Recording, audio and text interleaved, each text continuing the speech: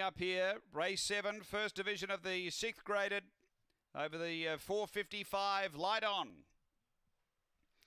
We're ready to race. Set to go. Race seven, Murray Bridge. Away.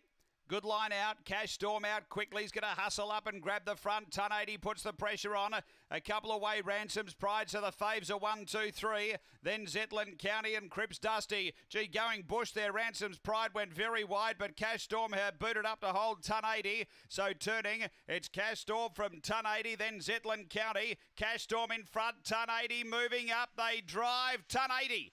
The uh, back Ruffy, Ton 80 has beaten Cash Storm, then Zetland County. Cripps Dusty and Ransom's Pride look really lost off that top bend. The time here is around 25.90.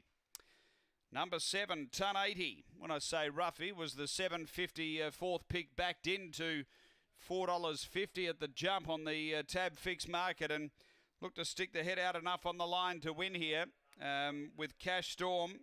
Number one, who led for most of the race but has been nabbed right on the peg. at seven the winner. Uh, ton 80 for Tracy Price. Uh, second to one, Cash Storm for Tony Henriksen.